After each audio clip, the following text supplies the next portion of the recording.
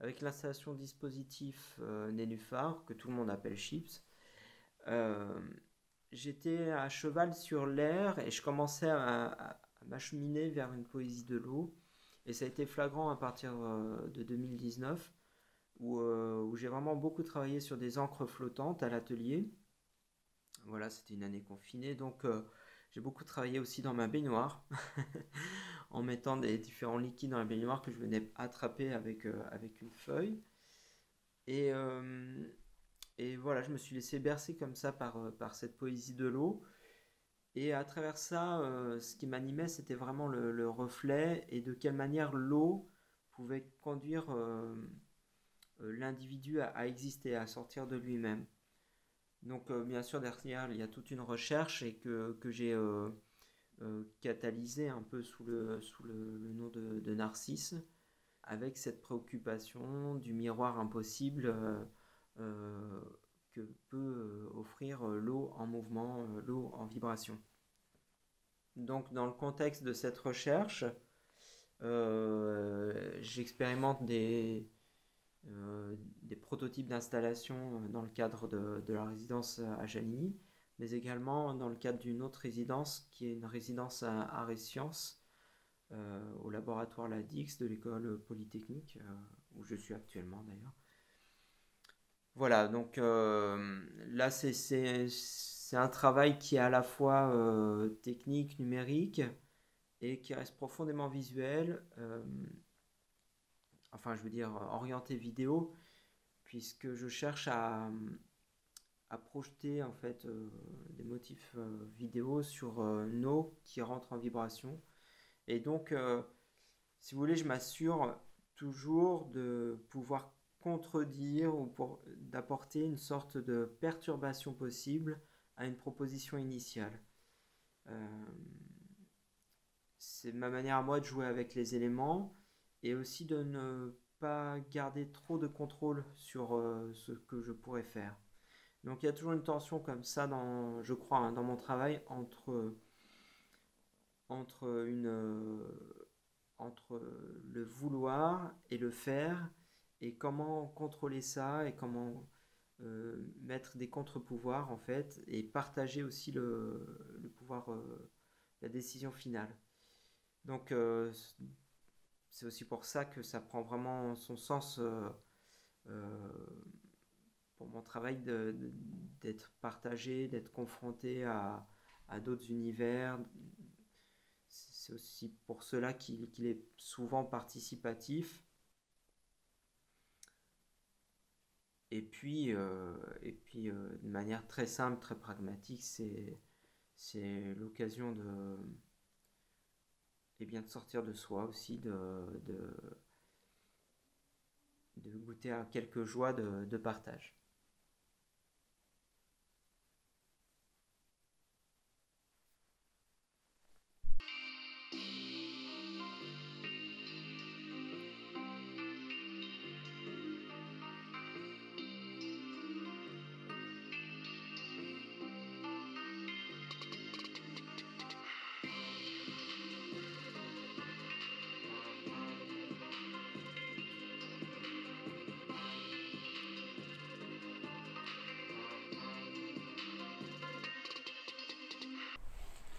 Bonjour à toutes, bonjour à tous. Je profite d'une éclaircie pour vous saluer. Voilà, vous voyez le, petit château de Jaligny derrière. Jaligny où je suis en résidence euh, vidéoforme actuellement. Alors je vous souhaite euh, une belle année de beaux moments partagés, quelques joies, quelques découvertes. Et j'espère modestement contribuer à tout cela. Euh, j'espère également vous retrouver bientôt à l'atelier là pour, euh, pour euh, terminer une exposition et puis vous parler des, projets à venir, notamment un, beau projet qui va prendre un peu de temps et initier beaucoup de rencontres. C'est un travail sur Narcisse, voilà, sur le devenir de l'être à notre ère post-digitale. on en reparlera. Voilà, et puis aussi pour vous dire que bah, bien sûr maintenant vous êtes les bienvenus à Saint-Étienne parce que j'ai un petit espace d'atelier depuis l'année dernière avec euh, également une mini galerie.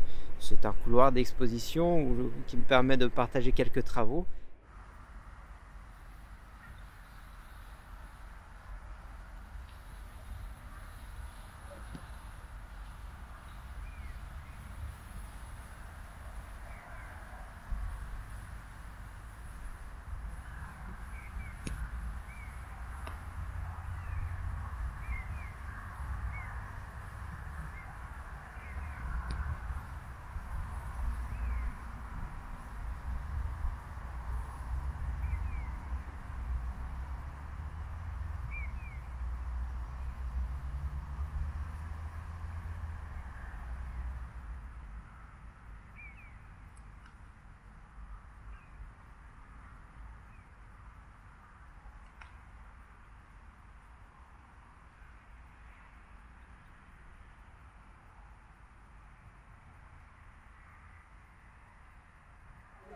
Ils m'ont fait peur, ils m'ont fait.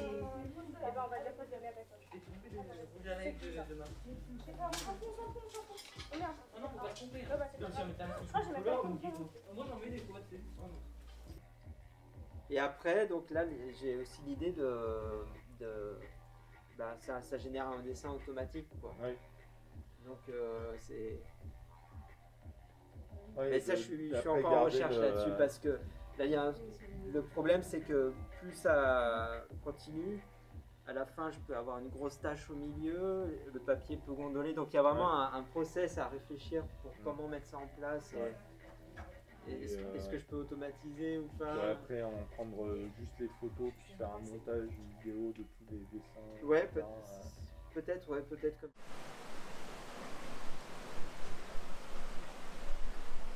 C'est-à-dire que on va forcément avoir envie de s'approcher, mais si on a l'encre, il faut pas que ça tâche les gens.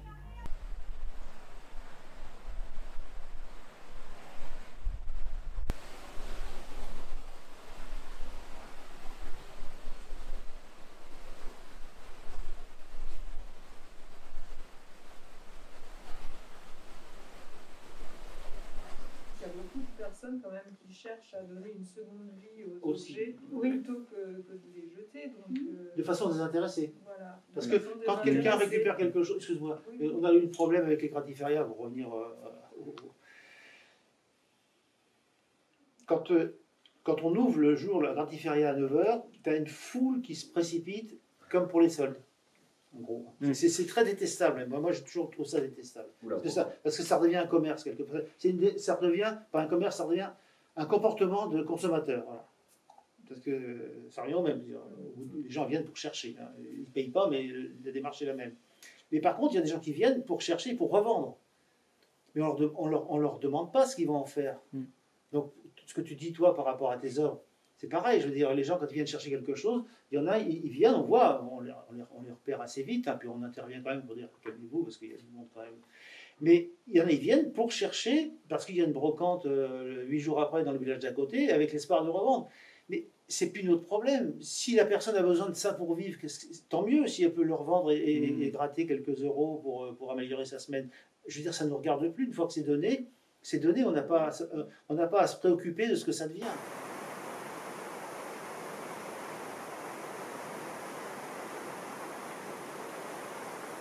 Donc je en recherche de draps blancs avec lesquels je vais pouvoir réaliser des toiles. Je cherche également des récipients qui ont toujours une valeur d'usage, qui peuvent euh, contenir euh, un liquide et de taille variable, puisque dans ces récipients, plus tard, je vais mettre des haut-parleurs pour lesquels je vous sollicite également.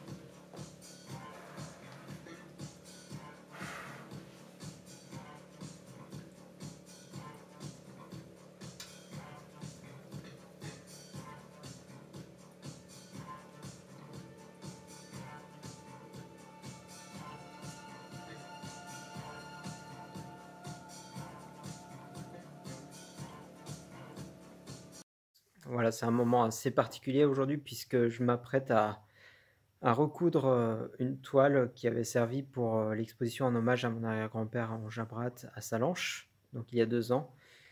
Voilà une manière de, reprendre les d'anciens éléments et, de les faire vivre autrement. Donc euh, cette toile qui servira pour sans doute la, première toile en direction du projet de Narcisse à suivre.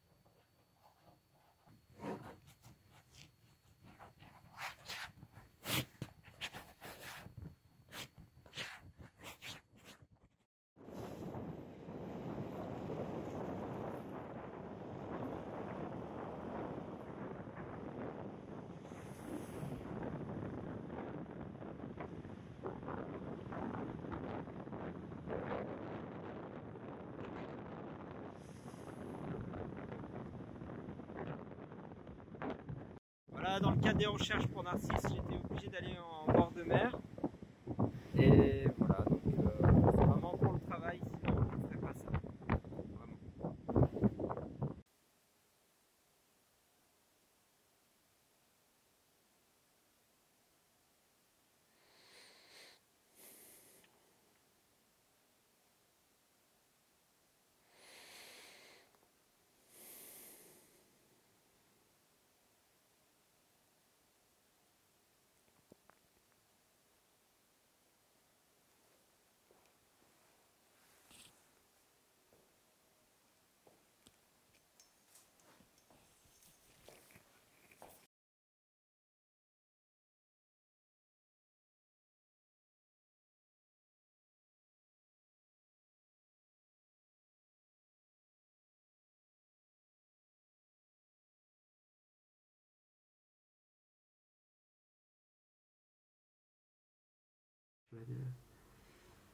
Donc là, l'idée à Jalini, c'est que je vais demander euh, aux habitants, en fait, il y a une, une association qui s'appelle Mine de Rien, qui, euh, qui fait partie du CEL, tu sais, c'est des, des communautés d'échange, Ouais, de troc. ouais.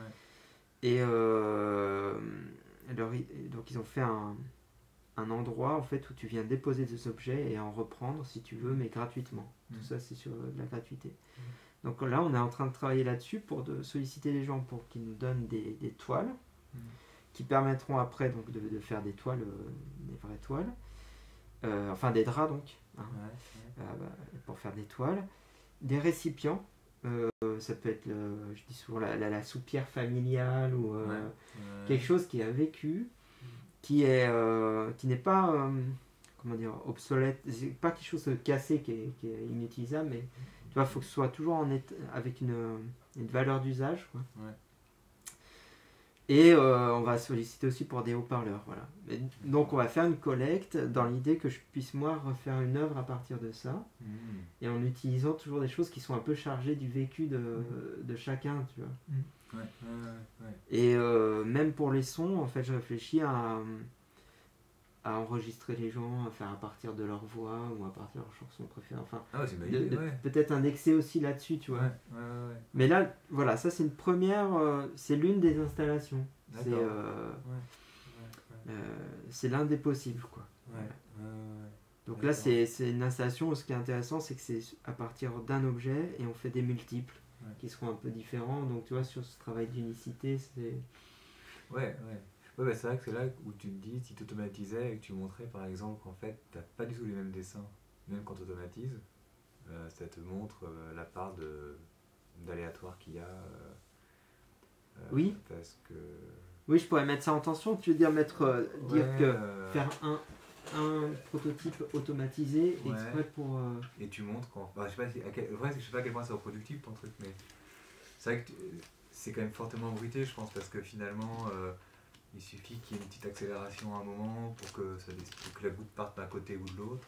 Ah oui, Peut-être que du ouais. coup, en fait, si tu automatises tout, même au, mieux que tu peux, peut-être que le, le bruit que tu as dans ton système est suffisant pour en fait faire des choses aléatoires. Enfin, tu vois, pour. euh, oui, est-ce que ça va euh, être tout à fait ouais. réplicable, même ouais, automatisé ouais. Euh, c'est le contraire de ce qu'on disait finalement. C'est genre on part de quelque chose qui est ultra, euh, ultra maîtrisé, euh, mais euh, t'amplifies des sources de bruit et donc, euh, et donc tu, tu fais euh, des choses qui n'ont rien à voir à la fin. De toute façon. De ouais. toute façon. De tout- ouais, Ouais. de- c'est- mais dans quelle mesure ouais, ça, ça, c'est vachement sympa, effectivement.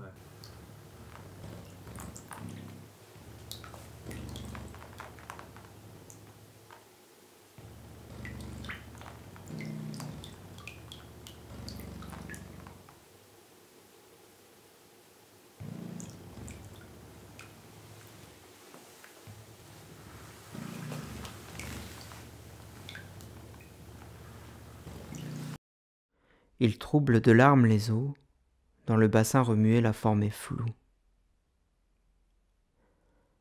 Il la voit s'éloigner et. Où fuis-tu? Reste, cruel, ne me quitte pas, je t'aime, crie-t-il. Laisse-moi regarder ce qu'on ne peut toucher, laisse-moi nourrir ma triste fureur. Il se plaint, retire par le haut son habit et frappe sa poitrine nue de ses mains de marbre. La poitrine frappée devient rouge rose. On dirait une pomme, blanche d'un côté, rouge de l'autre, ou du raisin aux grappes changeantes qui devient pourpre quand il mûrit. Il aperçoit les taches dans l'eau de nouveau claires et n'en supporte pas plus. Comme coule la cire blonde sous un feu léger et la pruine du matin sous un soleil tiède, ainsi tous mes cris d'amour. Ils font, fauchés à petit feu. Il n'a plus cette couleur, blanc mêlé de rouge, ni cette vigueur, ni ces forces, ni tout ce qu'il admirait. Plus ce corps qu'autrefois aimait Écho. Elle le voit, en colère. Elle n'a pas oublié. Mais elle le plaint, et chaque fois que le pauvre enfant dit hélas, de sa voix qui répète, elle dit hélas. Quand de ses mains il frappe ses bras, elle renvoie le son du coup. Les dernières paroles de l'enfant qui regarde dans l'eau. Hélas, enfant aimé en vain. Tous ces mots, le lieu les répète. Il dit adieu. Adieu, dit Écho. Il laisse tomber sa tête fatiguée dans l'herbe verte. La mort ferme les yeux qui admiraient la beauté de leur maître. La suite, après qu'il est rentré au séjour infernal, dans les eaux du Styx, il se regarde. Elle le pleure, ses sœurs, les naïades, offrent à leurs frères leurs cheveux coupés. Elle le pleure, les dryades, et Écho fait résonner leurs pleurs. Déjà, on prépare le bûcher, les torches à remuer, le brancard. Mais nulle part de corps. À la place du corps, on trouve une fleur safran avec des feuilles blanches tout autour du cœur.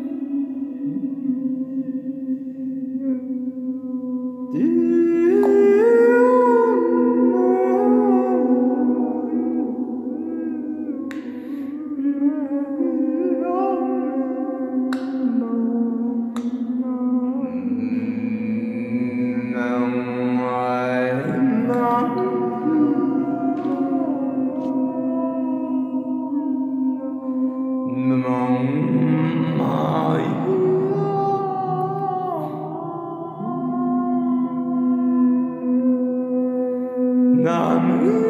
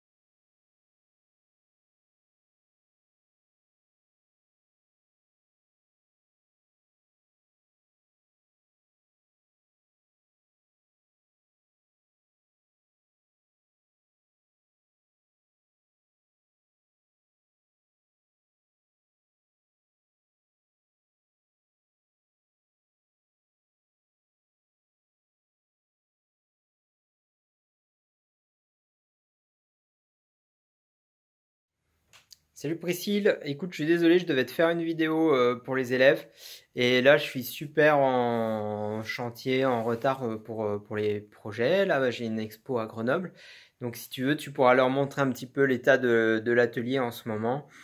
voilà, je te fais une petite visite. Est-ce que je peux retourner à la caméra? Non, là j'ai pris une photo. Ok, ils vont se moquer de moi. Alors voilà, ça c'est l'atelier et tu vois en ce moment, donc il y a de l'électronique. Là, j'ai préparé une petite installation que j'ai hâte de vous montrer.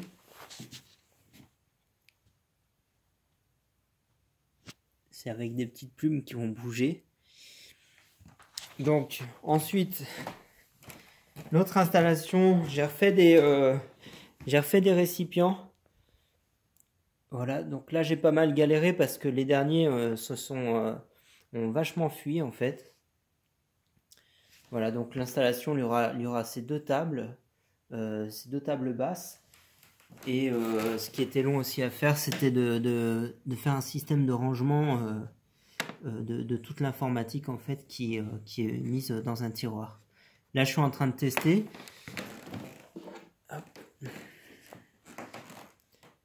Alors, j'ai pas mis l'eau parce que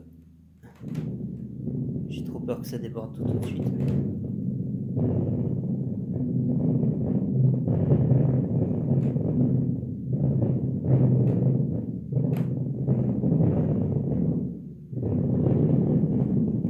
Voilà, et puis il y aura une autre installation dehors, mais euh, voilà, là c'est le bordel, c'est dans le garage. Ciao